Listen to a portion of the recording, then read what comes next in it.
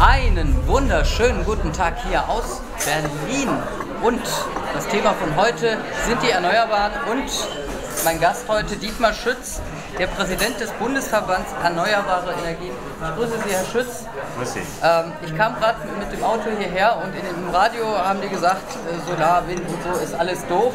Und ich habe das Gefühl, in den letzten Wochen und Monaten erleben wir das ganz viel. Äh, liegt das daran, dass es wirklich doof ist oder wird da Kampagne betrieben? Also bisher haben wir ja sehr große Erfolge gehabt und diejenigen, die das nicht richtig feststellen, haben in der Tat jetzt so ein bisschen äh, Kampagnen angefangen, insbesondere in der Preisdiskussion und äh, verunglimpfen bei dieser Gelegenheit die Erneuerbaren, weil sie sich vielleicht äh, noch etwas zurücksehen zum Atomzeitalter, wo sie mehr Geld verdient haben oder aus welchen anderen Gründen auch immer. Äh, fehlt so eine Art Gegenkampagne zu dem Ganzen? Also wir müssen schon uns deutlicher aufstellen. dass das Problem ist, äh, dass wir äh, wohl in der Preisdiskussion äh, Erklärungen haben, aber große Schwierigkeiten jetzt aufbauen, äh, aufgebaut sehen, wo eigentlich äh, das Marktdesign hingehen muss. Da haben wir jetzt Gutachten aufgestellt, weil das ein sehr komplexer und komplizierter Prozess im Wirtschaftsbereich ist.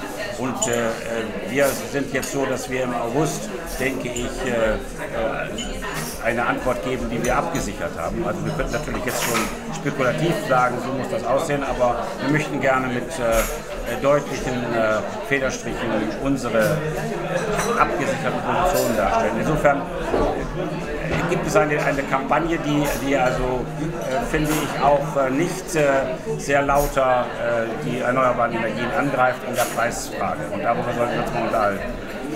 Wir haben einen neuen Umweltminister. Habt ihr schon mal mit dem gesprochen seitdem? Ich, ich treffe ihn nächste Woche, Dienstag. Und ich kenne ihn auch nur, äh, wir waren früher mal eine Phase Kollegen im Bundestag, aber aus der Zeit äh, kennen wir uns eigentlich nicht.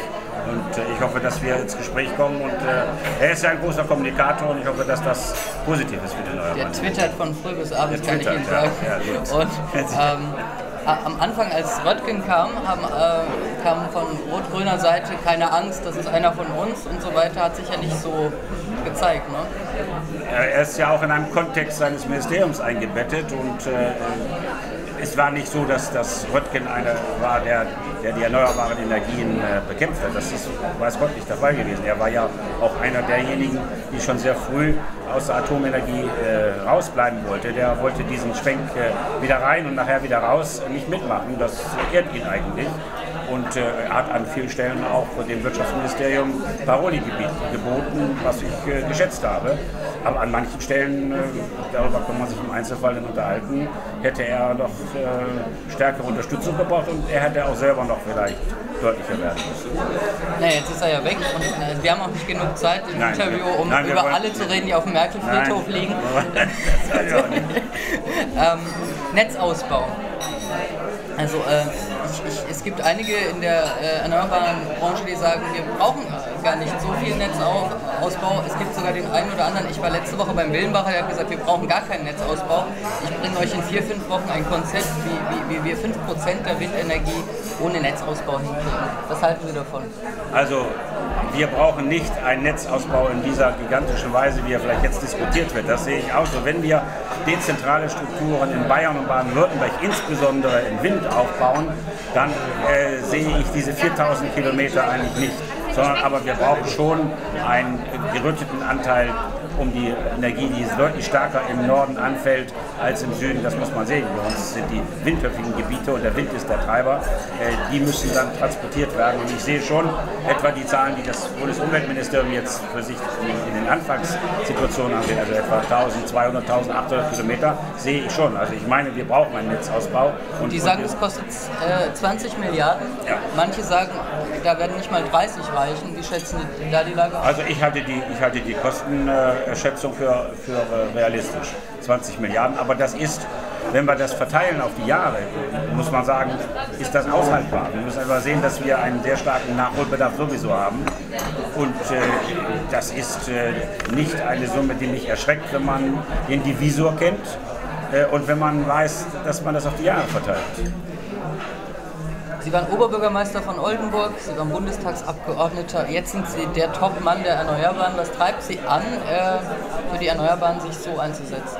Also hingekommen zu den Erneuerbaren bin ich eigentlich über den Umweltschutz. Ich war also schon auf der kommunalen Ebene der erste Sprecher im Umweltschutz und äh, mein, meine berufliche äh, erste Station, ich bin Verwaltungsjurist, war, dass ich äh, Großanlagen genehmigt habe, Chemiewerke und so weiter und habe gemerkt, was ich angerichtet habe. Und äh, da bin ich nachdenklich geworden. Saulus zum Paulus. Saulus zum Paulus und habe gewusst, dass wenn wir, wenn wir äh, bei uns sauren, wenn wir bei uns Schwefel produzieren, dass dann in, in, Norwegen die, die Seen umkippen und das hat mich doch nachdenklich gemacht. Und, und dadurch kam ich überhaupt in, in diese Diskussion von, von Großstrukturen, also von BIMSCH-Verfahren und so weiter. Und das im Bundestag bin ich dann damit automatisch auch zur Energie gekommen. Und das hat mich fasziniert. Das ist ein so spannendes Thema und ich bin seit äh, äh über 20 Jahren bei diesem Thema im Bundestag, aber auch später dann in der Stadt. Also ich habe ein durchaus äh, gutes äh, Cluster gebildet, was äh, erneuerbare Energien angeht und äh, jetzt mache ich weiter. Wunderbar. Ich nenne immer drei Begriffe, Herr Schütz, und bitte um drei Assoziationen. Äh, ich will nicht von den Inhalten ablenken, deswegen äh, nenne ich Namen. Sie sind ja ein alter Genosse. Steinmeier. Steinmeier ist ein seriöser, gut äh, äh aufgestellter sozialdemokratischer Kämpfer, der äh, durchaus Kanzler sein kann, aber es gibt Konkurrenten. Steinbrück?